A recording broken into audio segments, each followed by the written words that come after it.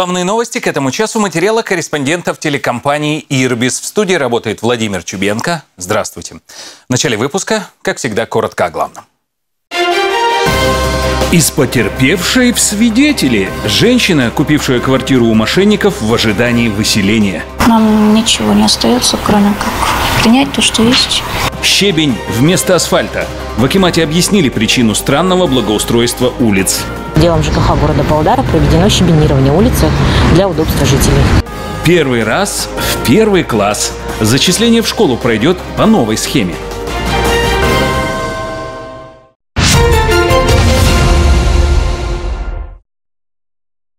Ежегодно в Казахстане ВИЧ заражаются тысячи человек. 9 из 10 еще не знают, что они уже инфицированы.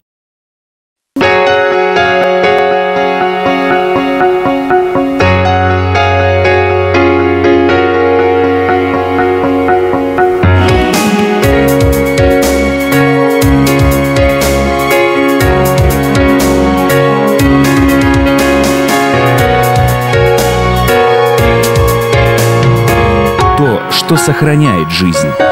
Защити себя и окружающих.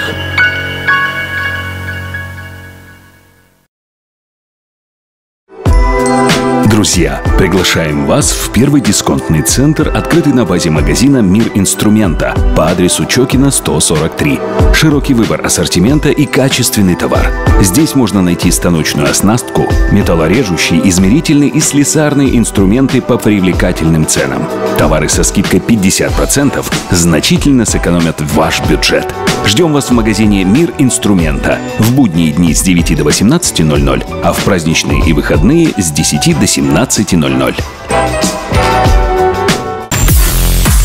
Целый год компания «Седьмой континент» радует своих клиентов качественными, невероятно красивыми ролл-шторами и жалюзи. За это время мы зарекомендовали себя как надежная и очень перспективная компания по изготовлению рулонных штор. Мы можем похвастаться богатым ассортиментом ткани, доброжелательными менеджерами, а самое главное, мы относимся к своей работе с душой. Доступные цены, грамотные консультации, а самое приятное – замер и установка бесплатно. Компания «Седьмой континент» находится по адресу Катаева 36, дробь 3. Запись на замеры по телефону плюс 7 776 226 15 15.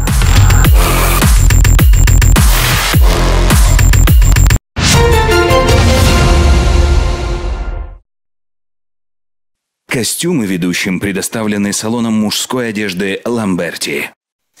Жительница Павлодара, которая купила вместе с сестрой квартиру у мошенников, ждет выселения. Злоумышленников приговорили к лишению свободы, а вот Макпал Мейрамову признали свидетелем.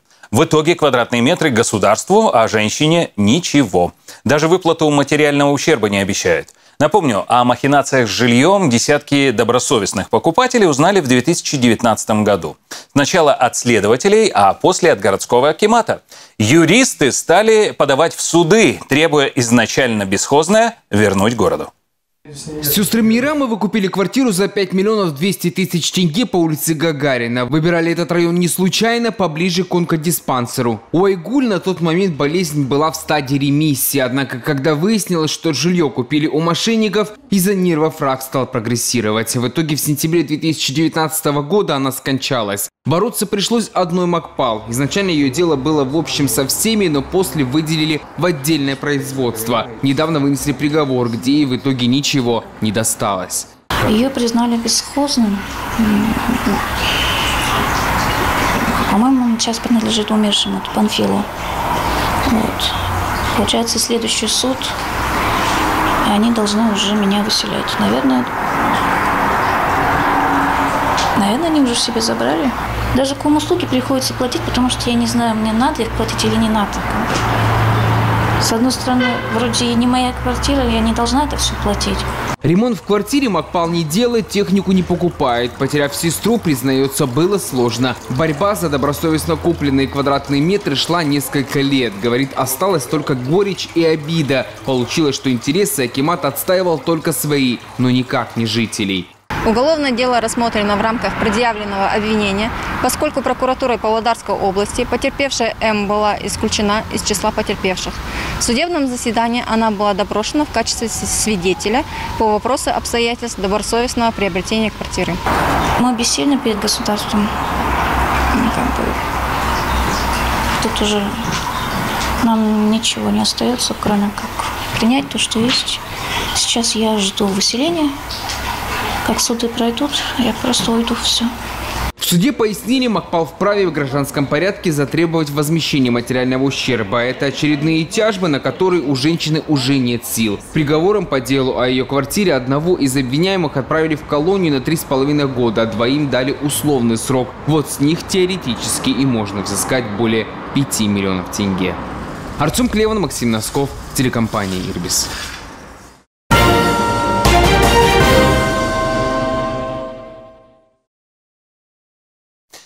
Павлодарские тепловые сети оштрафованы более чем на 4,5 миллиона тенге. Тех условия на подключение к системе отопления монополист выдавал с нарушениями. Какими, расскажем в экономическом блоке новостей. Спонсор бизнес-новостей, магазин сантехники и отопительного оборудования «Керемет Сантех». Всегда выгодно и комфортно.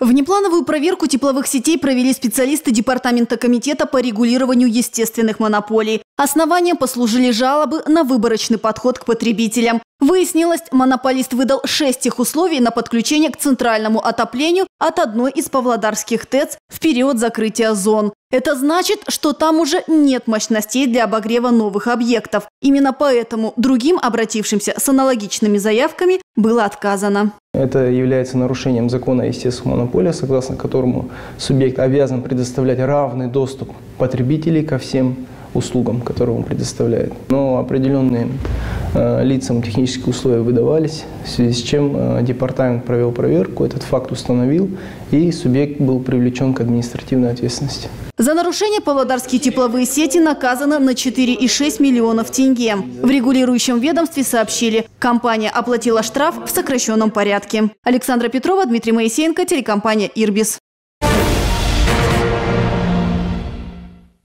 В Успенском районе создан искусственный водоем. Котлован вырыли для орошения полей. Теперь аграрии не зависят от погодных условий и смогут собирать урожай три раза за сезон. Здесь э, работали специальные подрядчики. Они вырыли нам котлован на 170 тысяч кубов. Уложили пленку, миллиметровую, миллиметровую мы выбрали, потому что она как бы попрочнее будет. И все, и пробурили 5 скважин, э, как является скважина первого подъема. И запустили сюда воду, подвели и все запустили. Объема воды достаточно для орошения более 300 гектаров. Инженерно-коммуникационную инфраструктуру провели полностью за счет государства. По программе «Дорожная карта бизнеса». Потратили 370 миллионов тенге. Помощь от государства, во-первых, в, в самом проекте было ЛЭП, шел линия электропередач, э, водоем-накопитель, станция второго подъема, станция первого подъема. Это шло от государства.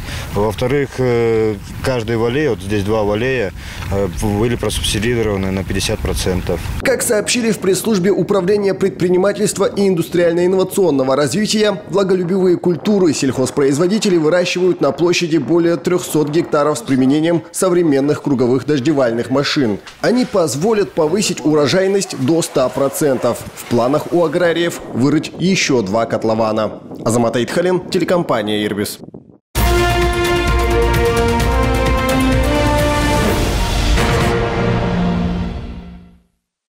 Спонсор бизнес-новостей, магазин сантехники и отопительного оборудования «Керемет Сантех». Всегда выгодно и комфортно.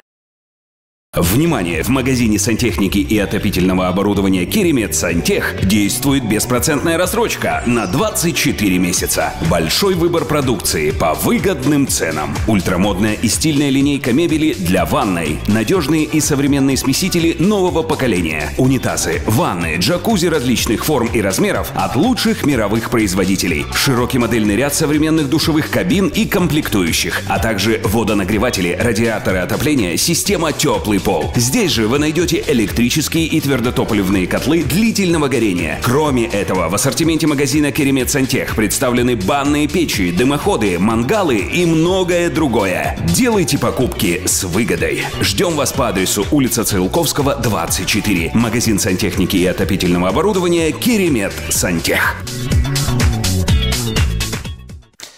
3 плюс 1. С этого года в первый класс зачисляют по-новому. Речь о прописке будущих учеников. Преимущество проживающим в районе школы, а не местных ребят принимают по остаточному принципу. С этого года документы в школу принимают только до 1 августа. Сроки изменили, чтобы успеть сформировать заявку на учебники, а также провести подготовительные курсы для будущих первоклассников. Главное новшество в наборе учеников – принцип 3 плюс 1 три ребенка принимается с территории обслуживания, а один ребенок при, принимается вне микрорайона, то есть не территории обслуживания. То есть, как говорилось, да, 30 э, учащихся в классе, из них 20 принимается по микрорайону, а 10 учащихся вне микрорайона, то есть не по территории обслуживания. Документы для зачисления не изменились. Цифровая фотография ребенка и два паспорта – здоровье и прививочный. Сдать их можно онлайн на портале ЕГОВ, либо в школьном уголке самообслуживания. На сегодняшний день уже подано свыше трех тысяч заявлений. Всего в этом году планируют набрать более 6 тысяч первоклашек. Александра Петрова, Дмитрий Моисеенко, телекомпания «Ирбис». Число заразившихся за сутки в Павлодарской области превысило 140 случаев. Данные ежедневно публикуются на официальных аккаунтах телекомпании «Ирбис» в соцсетях. Судя по статистике, рост заболеваемости продолжается. Подробности в нашем обзоре. Спонсор новостей соцсетей – мебельный салон «Жануя». Мебель для жизни.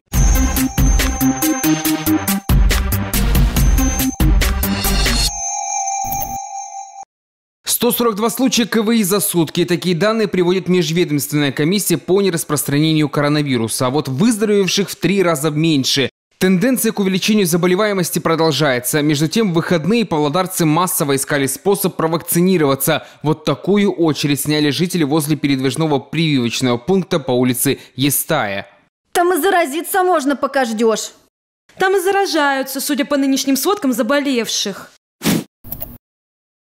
Подрядчика, производившего земляные работы по улице Камзина в дачном микрорайоне, шесть раз привлекли к административной ответственности. Причины послужили такие нарушения, как отсутствие знаков, ограждений, освещения. Зарегистрировано одно ДТП. Сейчас выписано еще одно предписание из-за до сих пор незавершенного асфальтирования. Подрядчик непробиваемый. Зачем наказывать шесть раз? Видно же, что работать не умеет. Два раза наказали, не исправился, расторгнуть договор, отдать подряд другому. Павлодарка, испугавшись гнева мужа, заявила в полицию о грабеже. Женщина потратила 50 тысяч тенге. Чтобы хоть как-то оправдаться, выдумала историю, что на нее напали на улице и отобрали сумку. Стражи порядка в деле смогли разобраться. В итоге в отношении самой дамы открыли уголовное дело. Боялась наказания от мужа? Мужик жмот, вот и придумала. Спонсор новостей соцсетей – мебельный салон «Жануя». Мебель для жизни. Стильная фирменная мебель – залог эстетики и комфорта.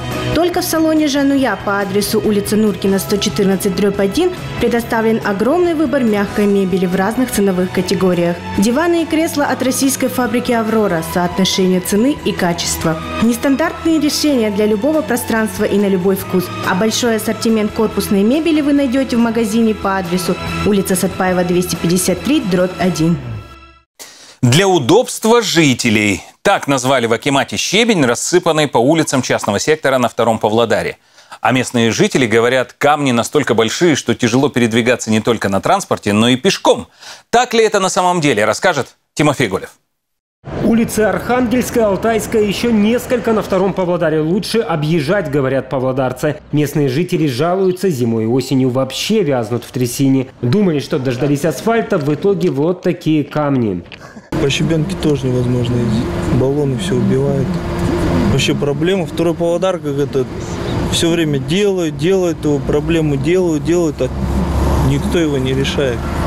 Невозможно. Это не только на этой улице, это на многих улицах. В Акимате ситуацию поспешили прояснить. Говорят, на втором Павлодаре запланирован третий этап строительства сетей канализации. Всего около 10 тысяч метров. И это 17 улиц. В настоящее время данный проект направлен на рассмотрение в коммунальные службы города Павлодара.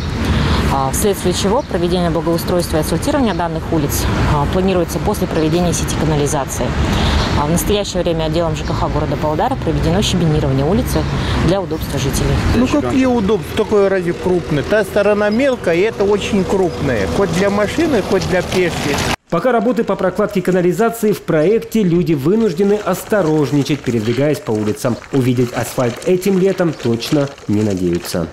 Тимофей Горев, Айтмухамбет Айгужа, Серий Конакбаев, телекомпания «Ирбис». Не асфальтируют внутриквартальные территории после ремонтных работ, жалуются жильцы Усольского микрорайона и дома Поломова 43.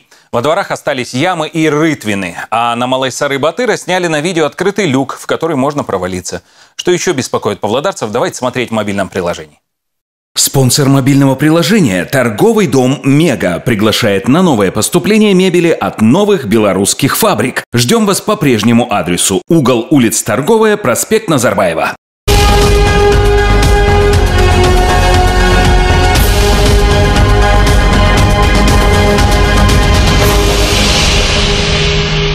По свору находится открытый люк, где протекает горячая вода. То есть пока кто-нибудь не упадет, очень глубокий, метров 10, наверное. Пока кто-то не упадет, его, наверное, не закроют. Чапаева, Джермаджета, 27. Чапаева, бесхозный дом. Чапаева, 27, вторая южная. Это Усольский микрорайон Павлодар. Бехожина 23. Проводились э, такие дворовые ямочные работы вот здесь вот сделали, вот положили асфальт, а вот этот кусочек вот почистили, главное его полностью, открыли вот это все и оставили. Хотя сказали, что доделают. И так и не доделали. Почему не убираете зараженные ели грибком? Вот один, второй, третий. Это Малайса рыба тыра 7 дробь 1 во дворе. Вот здесь детская площадка, да? Вот такой во всем дворе просто. Как можно так запустить двор? Наша КСК. Вот такой мусор может быть неделями лежать. Везде, посмотрите, мусор. Вон там игровая, там вообще вечный бардак, антисанитария. Вот как детям здесь играться?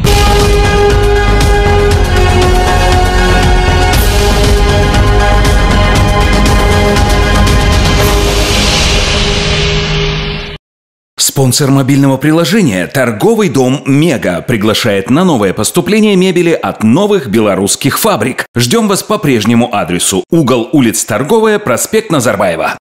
Популярный мебельный гипермаркет «Мега» приглашает на новые поступления мебели от белорусских и российских фабрик. Внимание! На весь ассортимент действует скидка от 20%. Шикарный выбор спальных гарнитуров, гостиные, комплекты для детских комнат, мягкая мебель. Торговый дом «Мега» очень строго следит за последними новинками в мире мебельной индустрии. И поэтому каждый месяц ассортимент обновляется и дополняется новым новыми предложениями. Для вашего удобства предусмотрена беспроцентная рассрочка на 11 месяцев. Действует гибкая система скидок. Торговый дом «Мега». Угол улиц Торговая, Назарбаева. Телефон 33 40 01. Пробежка по набережной заставила жительницу Павлодара задуматься о чистоте родного города. Теперь Зара Казыбекова вместе с единомышленниками регулярно совмещает спорт с уборкой. Число помощников растет. Подробнее наш корреспондент. Традиция собирать мусор во время пробежки по набережной возникла несколько лет назад. Каждый год Зара Казыбекова вместе с единомышленниками наполняет огромные мешки отходами. Говорят, не стоит никого обвинять, а нужно начинать с себя. Обычные люди подумала и задала себе вопрос, а что я сделала для того, чтобы здесь было чисто? И таким образом родилась такая идея просто провести субботник. В прошлом году мы также собрали 50 мешков, нас было, правда, гораздо меньше, 4 человека было. На этот раз участниками субботника стали десятки неравнодушных павлодарцев. Традицию намерены продолжать. Азамат Айтхалин, Валерий Павлов, телекомпания «Ирбис». Ну что, итальянцы чемпионы Европы. Второй раз в истории они выиграли главный континентальный турнир. И хочу напомнить, прежде это было в 1968 году. Лена, я знаю, ты болела за эту сборную, а вот э, такую развязку, финал такой могла себе представить? Ну, если ты имеешь в виду серию послематчевых пенальти, то да, обе дружины достойны чемпионского трофея, но итальянцы оказались более подготовленными к такому исходу. Кстати, да. юные футболисты Аксу тоже умеют бить штрафные. Ну вот все подробности сразу далее. С ними вас познакомит Елена Белоградова. Я прощаюсь. Удачи. До завтра.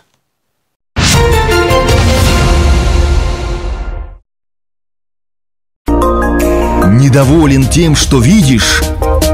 Не знаешь, как с этим бороться? Все просто! Устанавливай спутниковое от Алма ТВ и смотри до 140 каналов в лучшем качестве. А еще в спутниковом телевидении Алма ТВ действуют акции. Узнавай подробности и оставляй заявку на подключение по телефону 33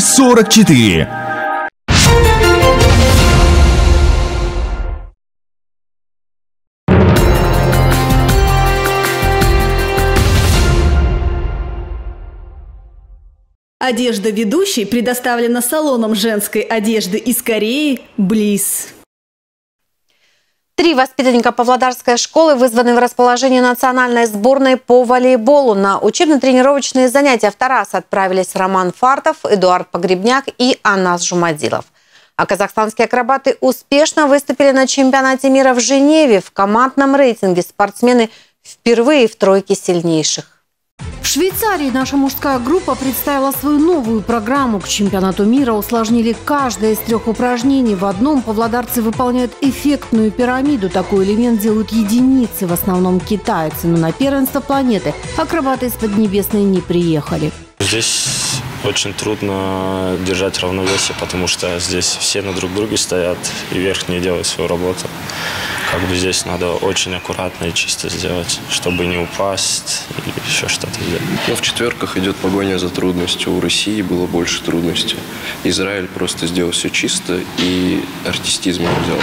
И Украина то же самое.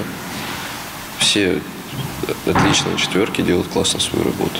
В первом этапе павлодарцы выступили безупречно. В финал Роман Рамбургер, Георгий Лейко, Евгений Мамашев и Владислав Никифоров вошли в тройки сильнейших. Результат лучше среди казахстанцев. Наша сборная – бронзовый призер, россияне – чемпионы, акробаты из Бельгии – вторые.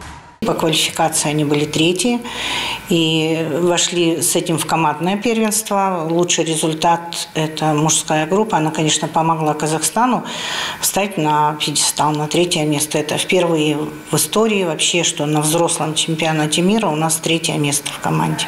Победители и призеры первенства планеты в следующем году пойдут на Всемирные игры в США. Этого права удостоены только сильнейшие. Стоит сказать, ранее в Женеве успешно выступили наши юниоры. Они привезли серебряную и бронзовую медали. Мы можем конкурировать, у нас э, работа достойная, и мы не отстаем от них по работе. Но они, я думаю, что танцуют лучше. Нам надо вот это вот подтянуть, чтобы мы более раскрепощенно танцевали. Ну, лично нам. После сложной дороги акробаты взяли небольшой тайм-аут, но уже через неделю спортсмены начинают подготовку к чемпионату Азии. Два решающих матча и оба завершились серией пенальти. Сценарий подобный чемпионату Европы, только его участники – начинающие футболисты. Воспитанники спортшколы АКСУ, представляющие наш регион на первенстве республики, привезли бронзовые медали. Игры дивизиона Ю-12 прошли в Петропавловске. В сборной футболисты из Павлодара и Кибастуза. Но костяк команды составили чемпионы области, воспитанники спортшколы АКСУ. В групповом раунде наши ребята одержали три победы, потерпели поражение и матч свели в ничью. В полуфинале встречались со сверстниками из Шимкента. Шимкент в той группе всех ну, выигрывал с крупным счетом. И вот в полуфинале наши дети дали бой, очень хорошо сыграли, очень не забили просто моменты, очень много моментов наши были. Сразу на первой минуте Игорь Косырин у нас выход один на один не реализовывал. И такие моменты у нас создавали. И, к сожалению, по пенальти, по пенальти мы были близки к выходу в финал. Продлить голевую феерию в основное время шимкенцам не удалось 0-0. Лишь в серии пенальти южане оказались сильнее. В матче за бронзу нашей сборной противостояли футболисты Актюбинской области. Сценарий тот же, ничья, 1-1 и снова серия штрафных ударов. Пенальти, это можно сказать, как рулетка 50 на 50. Кому-то повезет, кому-то нет. Можно выиграть, можно проиграть. Это никто не знает. Это как неизвестно, кто выиграет, кто нет. Я бью пенальти. Как? Не забил. Ну, не знаю почему. Еще есть очень сильный мандраж, потому что это уже чемпионат Республики Казахстана, и тут ну, не так легко уже все. В первом матче с Парасатом было сложно отражать пенальти. Ну, ну, просто у нас иногда просто бывают такие черные полосы, которые сложно преодолеть вратарю особенно. И нам просто выигрывают по пенальти. А второй матч я собрался и отразил все, ну, три пенальти. В этой серии наши футболисты вышли победителями. Точно били форварды, на высоте был вратарь. Сборная области бронзовый призер чемпионата среди ребят самой младшей возрастной группы. Вместе с медалью Юра Кольченко увез самый ценный трофей. В активе лучшего бомбардира 10 голов. Всего же в первенстве выступили 12 региональных команд. В казахстанском футболе стартовал второй по значимости турнир. В этом сезоне Кубок Казахстана проводят в очень непривычном формате. Играют 14 клубов премьер-лиги и две команды первого дивизиона, прошедшие предварительный отбор. В этом сезоне был внедрен новый формат. Групповой этап частично сменили раундом на выбывание. Сначала все участники сыграют в два круга, проведут по шесть туров. С четвертьфинала начнутся поединки по олимпийской системе. Главная битва за кубок запланирована на 28 ноября. В выходные 16 клубов начали борьбу за трофей. В группе А футболисты Кызылжара миром разошлись с воспитанниками столичной спортшколы. А Кайрат едва одолел ЖТСУ. В дивизионе Б клуб из Кустана одержал гостевую победу в Таразе 1-3. Очки поделили от Ирау и Махтаарала. Актюбинцы терпят поражение туральцев. Стоит сказать, в этом матче за западно-казахстанцев дебютировал Дмитрий Шамко. Столичная дружина не смогла найти брешь в обороне Кайсара. В этом поединке сухая ничья. И лишь в последней подгруппе «Д» обе встречи результативные. В Актау хозяева поля обыграли Туран, а шимкенцы – Шахтер. И в завершении о хоккее Данил Васильев перешел в московскую звезду фарм-клуб ЦСКА. Защитник пока на просмотре. Прошлый сезон воспитанник Павлодарской школы выступал за Иртыш, в котором сыграл 43 матча. У меня на сегодня все. Если вы что-то пропустили, все наши новости и программы смотрите и читайте на сайте irbistv.kz и страницах в социальных сетях. До свидания.